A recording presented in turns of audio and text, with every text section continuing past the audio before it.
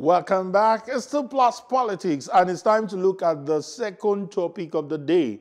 The former national chairman of the Independent National Electoral Commission, INEC, Professor Mahmood Yakubu, says the failure of politicians to fulfill campaign promises, amongst others, have contributed to the low turnout of voters during elections.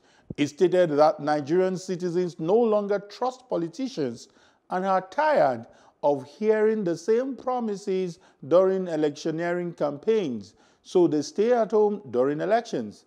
He also mentioned violence or threat of violence as a reason.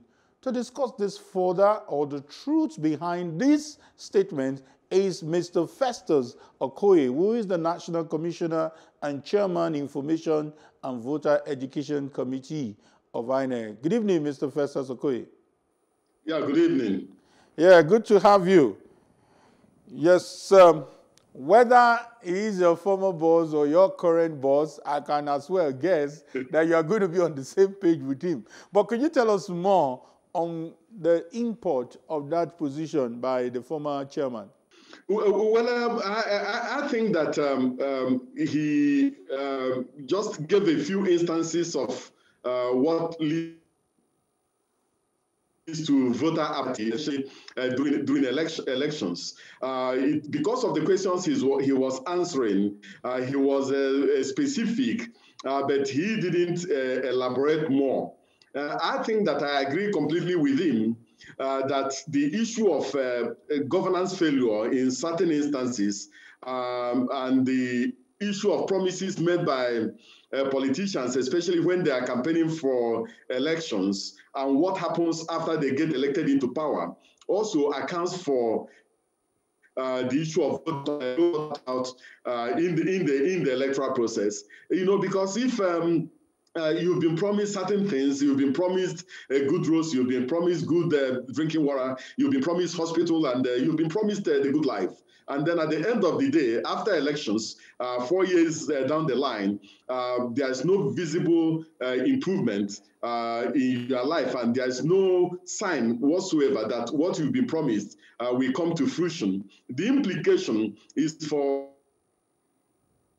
and then uh, uh, people have the tendency uh, to move away, um, uh, believing that uh, promises are just promises and that uh, some of them are not meant to be fulfilled. so the attraction to go to the polling units on election day to go and vote once again may not likely be there. So I think that it is in within that particular context that he made that particular statement.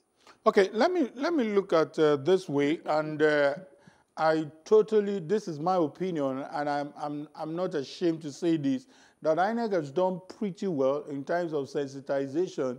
INEC has done pretty well in terms of doing everything possible to make people come out to vote. But it can be very, very discouraging when we are talking about 35% turnout, talking about 40% turnout of the, from the voter register, not even people that should even register at all. So this becomes quite worrisome. And uh, saying that it is an issue of failed campaign promises, that issue is for the politicians. But what more, don't you think INEC needs to change the strategy? Maybe not needing more funds now, but how do you convince people to show more interest? Uh, I think there are variegated um, issues uh, relating to the issue of uh, low voter turnout. One, our people have this tendency of not reporting deaths when they occur uh, because the Independent National Electoral Commission uh, does what we call claims and objections, um, where the voters register for play uh, for people to come and check whether there are names that are on the voters register that are, not supposed to be there, whether there are names of persons who have passed on that are still there, uh, so that we can clean up the voters register. But when you display this uh, voters register, very few of our people turn up uh, to give that information. Uh, secondly, the, we have very poor record of births and deaths in this country uh, because the commission is supposed to collect uh, a record of death uh, from, um, from other agencies uh, that keeps this particular record uh, for the purposes of, um, of updating the voters um, uh, uh, register. but you know, that also is a huge challenge. Then there's also the challenge of students who registered when they are still students and have moved on, they have graduated and refuse or neglect or for one reason or the other uh, are unable to move their, their previous register to their new location. This creates a huge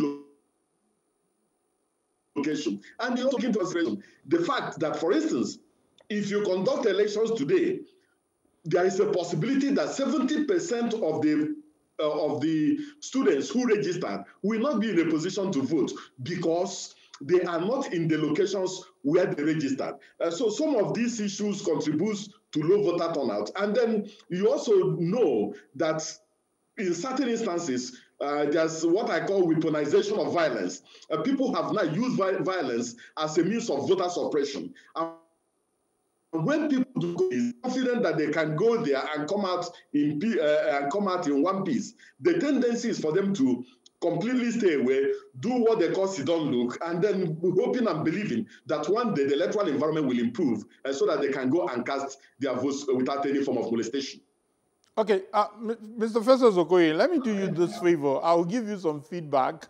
Um, this is done randomly as a as a political reporter uh, over the years, sometimes we see a lot of young people showing no interest in some of the candidates that are vying for election.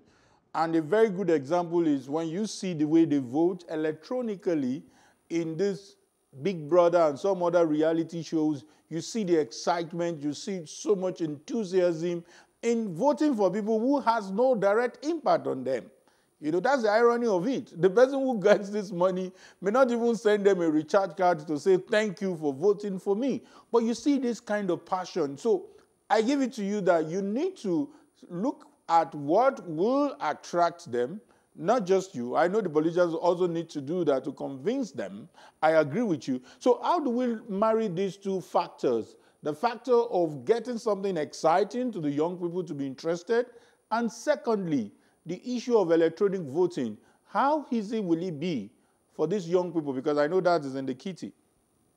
Uh, I, I, think that um, as, as, as Nigerians, uh, we must factor in the, the electoral process.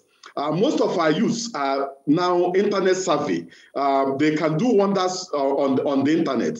What they prefer is a situation where they can go sit in the comfort of their rooms, use their smartphones, use their laptops, use their iPads, and cast their votes uh, without the necessity of going to the polling units to go and queue for two, three, or four hours uh, before they can vote.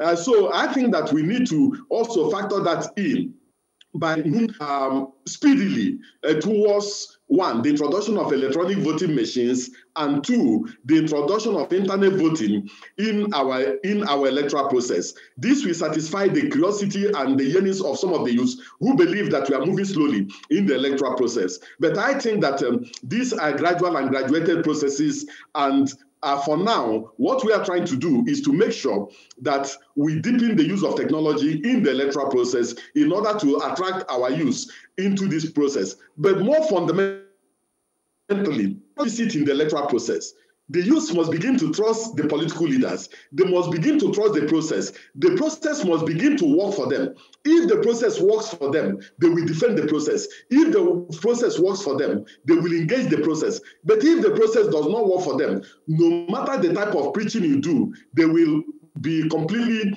uh, uh, uh disinterested. But I also agree with you that we must find ways, creative ways and means, and new innovations that we make decisions uh, so that they can take the, their destiny into their hands uh, because the future is now and the future is theirs. Okay, let me quickly take a, a, a bit of trip to United States uh, uh, uh last election. And, uh, you know, trust me, the young people also follow the election and they pick one or two lessons there. Now, we have close to more than 80% turnout. And for me, according to American history, that's the highest ever in their 200 years of uh, democracy But what are the issues responsible? We had the issue of mail-in votes this time around. We also had the issue of um, um, uh, when, when you look at uh, the diaspora voting, that has always been there. Now, we also have, mm. for records, uh, we have people who stood on that queue for more than two hours before they voted. So there was also passion. What are some of these lessons so that, you know, your effort is also, I know how INEC feels when you have low turnout in elections. So how do, what are the lessons we can pick from the last election or generally U.S. elections? Well, uh, you know, our voting processes and procedures must also mirror the state of infrastructure in, in Nigeria. You and me know that as of today, the post offices are more or less comatose, and that people hardly uh, maintain their postal boxes. People hardly even know where the post offices are. So the issue of mailing votes in Nigeria, for me, mm-hmm. as of today, is a no-no.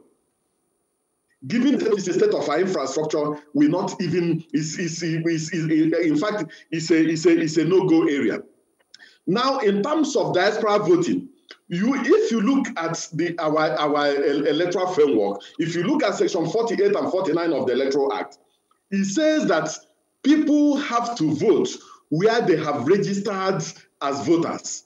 And as of today, the, the legal framework does not give room for diaspora voting.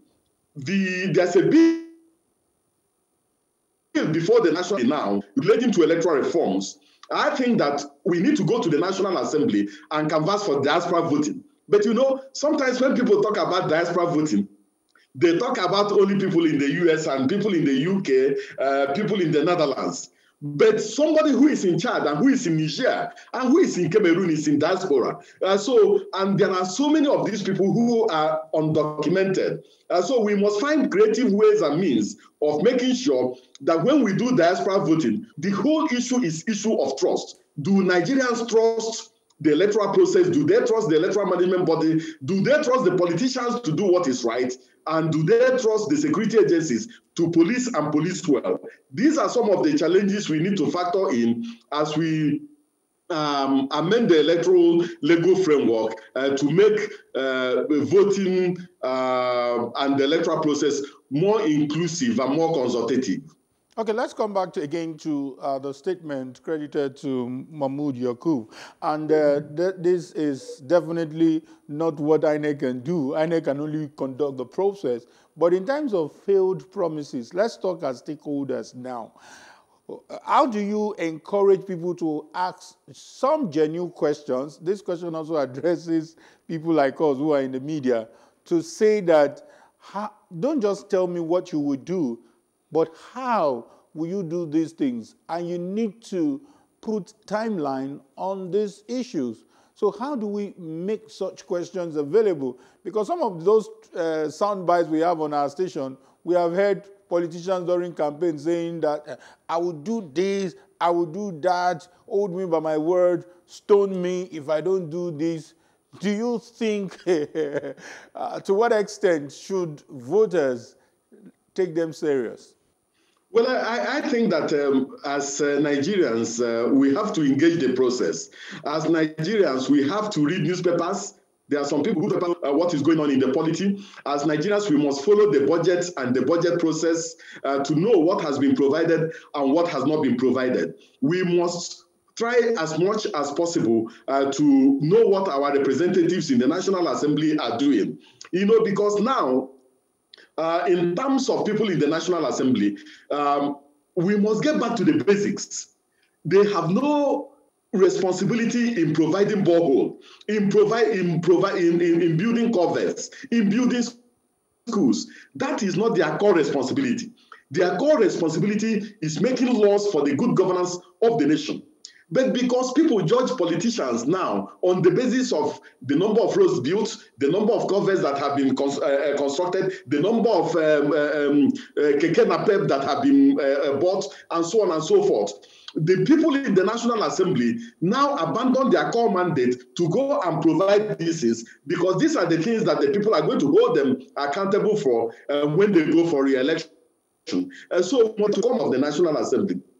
And the National Assembly must now find ways and means of holding the executive accountable. As I think these are some of the challenges we have, and these are some of the issues uh, we must take into consideration as we um, amend the electoral legal framework and as, as we move uh, towards the 2023 uh, general election. Okay, uh, before you go, probably this might be my last question. Uh, let's look at uh, the prospect of electronic voting, which I sincerely hope will increase these statistics going forward. Um, is INEC putting all, crossing all the T's, dotting all the I's uh, ahead of the 2021 governorship election in uh, Anambra State? Am I right? Well, uh, our the chairman of the Independent National Electoral Commission, or the former chairman of the Independent National Electoral Commission, and the incoming chairman of the commission, uh, has assured Nigerians that for the Anambra 2020, 2021 uh, elections, that the commission will deploy electronic voting machines for that particular election. Today, to this particular extent, we have invited over 40 companies uh, uh, that have come to display the type of solutions they have. So what we are doing now is analyzing all those solutions that have been provided to see which one is smart, which one is simple to use, which one takes into consideration our environment, which one can do both verification and, and authentication and also leaves a paper, a paper trail uh, in the electoral process. So that's what we are looking at now. But whether we are committed uh, to the introduction uh, for the Anambra 2021 governorship elections, we have made a commitment to Nigerians and we are going to fulfill that particular uh, commitment. So to answer your question, yes, we are crossing the T's and dotting the I's, and we are ready and committed uh, to the process. There is no alternative uh, to the deepening of the use of technology in the electoral process. And it is one of the things we are going to uh, flag in 2021. And we are going to update the voters register and also do continuous voters registration so that we can give our people a sense of belonging.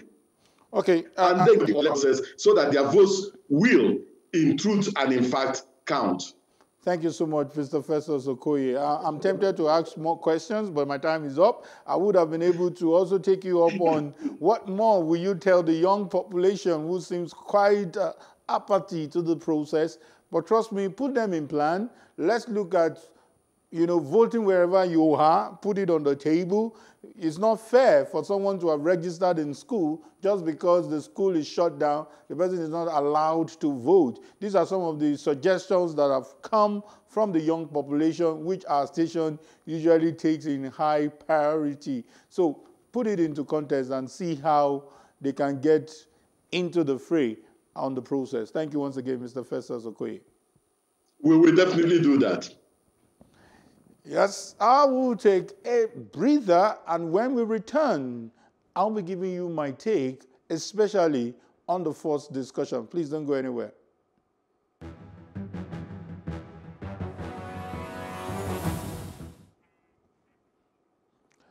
Here is my take. The statistics reeled out by the Commission is not only sad, it is indeed the reflection of hugely apathy population who feel their votes do not count. It is even sadder that even when they manage and struggle to vote, their choices end up disappointing them, as alluded by the former INEC boss. What do we need to do? What measure do we need to adopt, like the last American presidential election, where 80 to 90% turnout was recorded?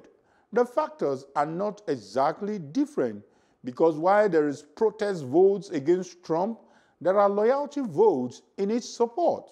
Should we also remind our politicians that President Donald Trump almost fulfilled, if not all, his campaign promises for his supporters? The reasons, whether good or bad, it depends on who is assessing his performances. And some of them, most of these promises are religiously fulfilled. One more suggestion for the armchair critics, it is time to jump into the fray, to vote and be voted for. And that's my take on tonight's discussion. Plus Politics returns same time on Monday for another fresh set of topics. I remain yours truly, Kayode Ladende, saying bye for now.